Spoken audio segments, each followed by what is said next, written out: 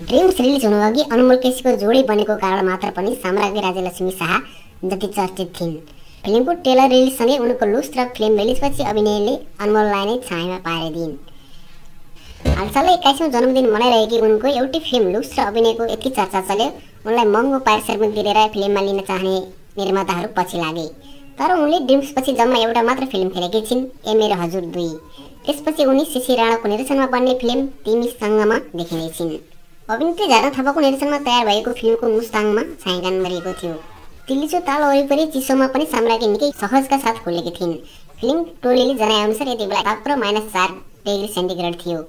त्यतिको चिसोमा अभिनेता सलिमान बानियासँग उनको बोल्ड सेन खुल्ने गरी तस्बिर फिल्मी टोलीले मुस्ताङको छायाङ्कन सकेर काठमाडौँ फर्किएपछि सार्वजनिक गरेको हो।